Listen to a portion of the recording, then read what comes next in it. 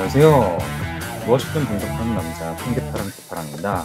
오늘은 X바 R에 대해서 살펴보도록 하겠는데요. 네, X바 R이라는 것은 무엇인가? 이것은 이제 계량형 데이터가 어떤 부분군에 포함될 때, 포함될 때 공정의 평균과 어떤 변동, 그러니까 여기서의 변동은 범위를 뜻하는 것인데 평균과 범위를 모니터링하는 것이다. 그렇게 생각하시면 되겠습니다. 이제 여기서 이제 부분군이라는 것은 부분 집합, 그러니까 범주형 변수라고 생각하시면 되겠는데요. 이 집단의 크기가 8 이하일 때 가장 효과적이다. 그런 것도 참고 삼아 알아두시면 좋을 것 같습니다. 자, 미니 탭을 통해서 분석을 수행을 해볼 건데요. 통계 분석에 들어가셔서 관리도가 있습니다. 자, 관리도에서 보시면 이제 부분군 계량형 관리도가 있어요. 여기서 이제 X바 R이라는 것을 클릭을 해주시면 될 것 같습니다. 자, 여기서 이제 뭐 모든 관 층치를 한 열에 이것을 그대로 선택을 하시면 되겠고요. 전 여기서 이제 연속형 변수를 이렇게 먼저 선택을 하겠고, 자, 부분구는 이제 범주형 변수를 이렇게 눌러주십니다. 자, 이것에 대해서 결과가 어떤 식으로 나타나는지 함께 살펴볼게요.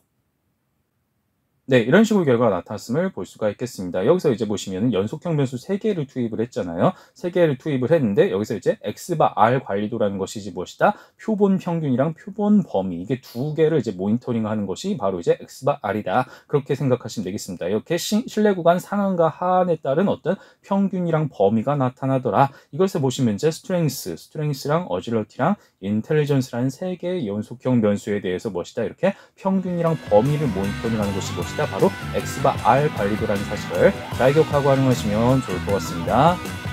오늘은 여기까지 하겠습니다. 감사합니다.